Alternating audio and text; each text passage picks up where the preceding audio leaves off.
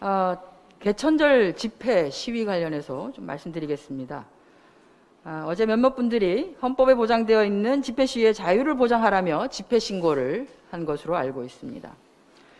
하지만 헌법 그 어느 곳에도 공공의 안녕이나 국민의 건강 또는 생명을 위협하는 것이 집회 시위의 권리라고 어, 명시해 놓지 않았습니다. 그래서 제안을 좀 드리고 싶습니다. 어, 우리 사회가 지금 비대면으로 모든 것이 진행되고 있는데요. 어차피 외부에서 모인다고 하여도 100명 이상 모이실 수가 없습니다. 100인 정도가 모이셔서 집회와 시위를 하실 거면 온라인 비대면 집회와 시위를 진행하는 것은 어떤가? 집회를 하시는 분도 안전하고 그 집회를 바라보시는 분도 안전할 거라고 생각합니다. 물론 국민도 더욱더 안전해지겠죠. 온라인 비대면 집회, 시위 제안드립니다. 이상입니다. 예, 다음은 김영진 네, 극우단체 개천절 집회 관련해서 말씀드리겠습니다.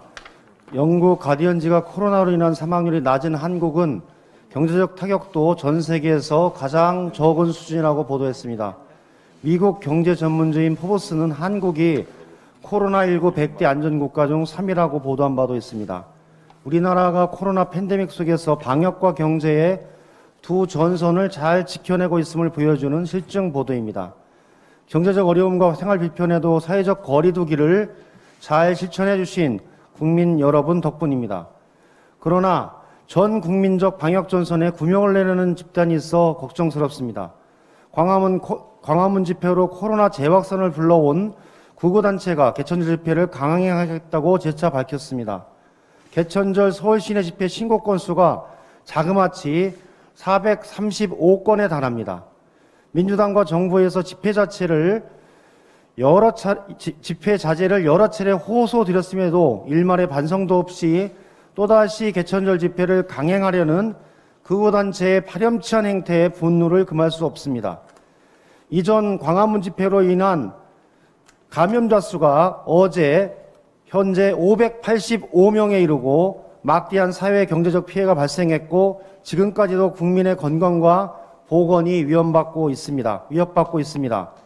민주당과 정부는 개천절 집회에 대해 국민의 생명과 건강을 수호하는 국민 안보 차원에서 단호히 대응하겠습니다.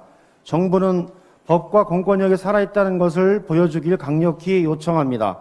아울러 민주당은 개천절 집회에 반대하는 국민적 노 캠페인을 제안드립니다.